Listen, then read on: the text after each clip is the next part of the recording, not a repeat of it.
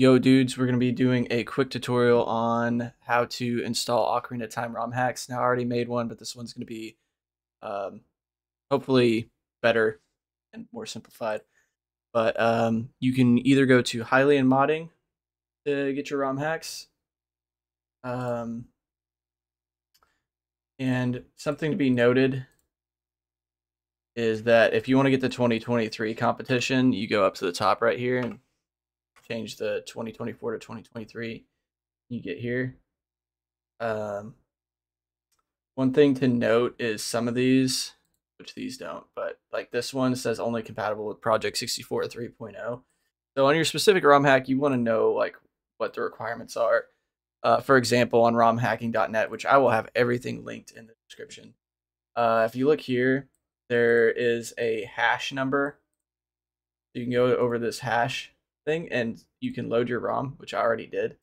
And it has this right here. And this is the one that is used most of the time for Ocarina of Time ROM hacks. And that is Ocarina of Time version 1.0, which there are three versions 1.0, 1.1, and 1.2. This is 1.0, the original version. That's the one that's used for um, if you're playing a randomizer or if you're wanting to do ROM hacking, that is like the number one version that is used. I have not had to use a another version. Um, so that to get this version, you can. Um, this is helpful. Uh, this this code right here.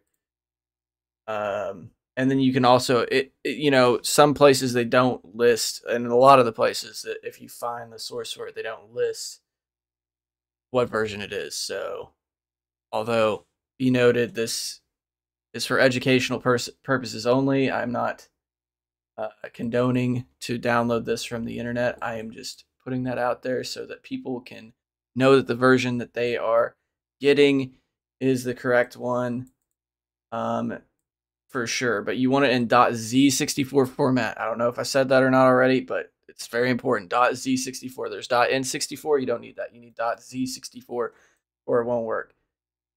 All right, and then also you want to get your Project 64 um, 3.0.1 is the latest as of now. This video.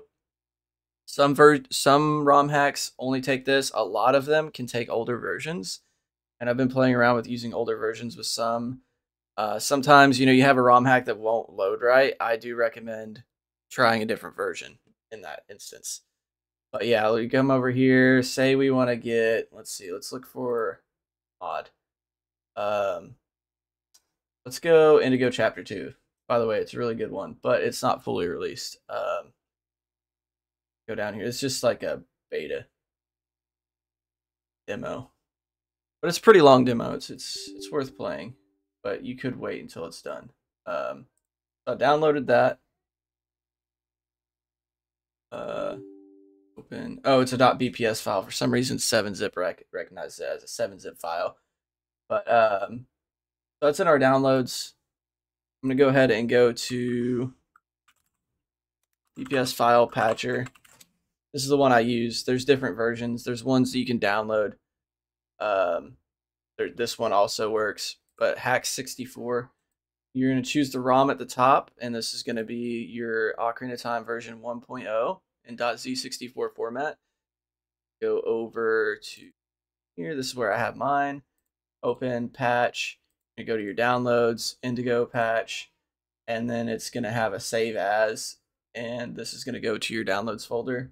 Um, I guess that's it goes wherever the patch is, possibly. I'm not sure exactly, but go ahead and click patch, open. So you got it right here. I cut it, I put it in my documents in N64 um, ROM hacks, and all these are Zelda ROM hacks. That's all I really play. But I already have this in here. So I'm not going to really worry about doing that. And then you're going to go ahead and go to here, download. I already have it downloaded and installed. So I'll let you guys figure that out. It's not too hard. And um, so yeah, so if there's any other requirements, just just to put that out there, they typically will be here um, and the ISO information. On the other hand, most of these don't give you a lot of extra information, but a lot of these are on romhacking.net. So if you can't find information, you're having problems with one of these ROM hacks, try to find it here and then read here, see if there's any kind of like extra information. Um, but yeah, moving on to the emulator. So you're going to want to open your emulator. Um, and we're going to go to configuration. I'm going to go to general settings. There's hide advanced settings right here. You need to make sure this is unchecked. This is unchecked. You can't see certain settings that you need to change. Um, see, we got always use interpreter core. You want that on. Now, I'm not sure about these other ones. You can um, you can check, double check to make sure yours look like mine. Uh, memory size I have to eight, and I think those are the main things. And then I'm using GLideN64 and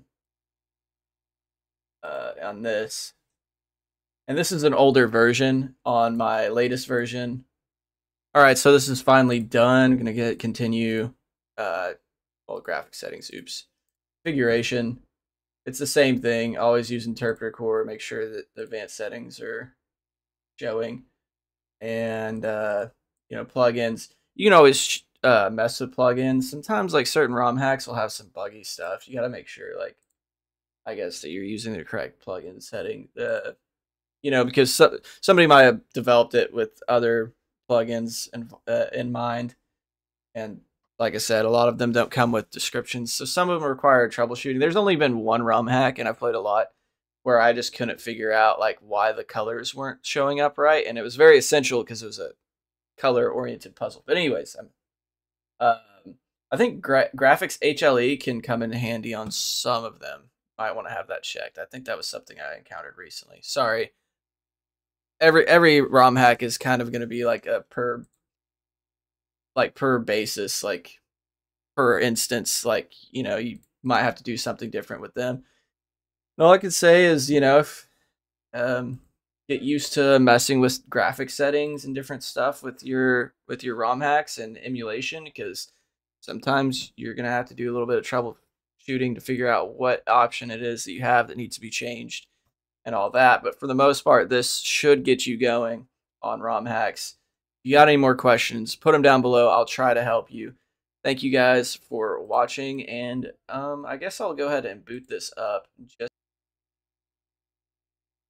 all right. So yeah, there's Project Indigo. You can tell it's a ROM hack because giant horse, little Link. I mean, that's not OG. Anyways, yeah, thank you guys so much. If this video helped you, please subscribe, like, and comment. And stay tuned. There's going to be a lot of content coming up. News about uh, ROM hacks, playthroughs of ROM hacks, uh, news about Zelda mods, showcases of Zelda mods. You know, a lot of Zelda related content. Might be doing some other stuff as well. But thank you guys so much for your time. I hope that I've helped you today. And have a great rest of your day.